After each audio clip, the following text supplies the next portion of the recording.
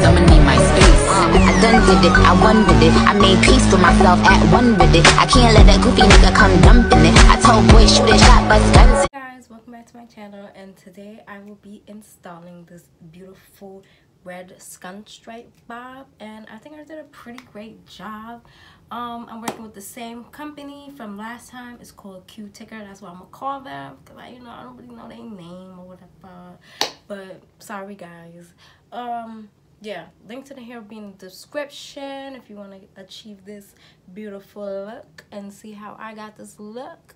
They keep on watching. Well before you know we get started let me just show you guys um the wig. Let me tell you guys a little bit about the wig. This packaging is ooh, it's my address y'all.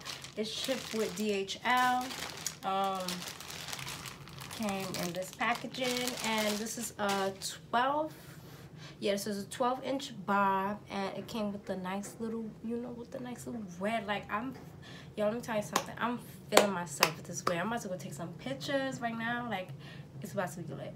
But yes um this is a full lace. Um the parting it actually came into a middle part but i turned to a side part. Well it's like kind of a t-part wig i would say because i had to shift the wig to the side to get it to like you know like the style.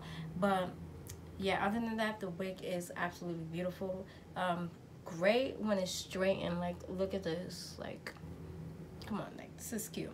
And yeah that's all i have to say about the wig. All the details to the hair will be in the description. And yeah let's get this video rolling guys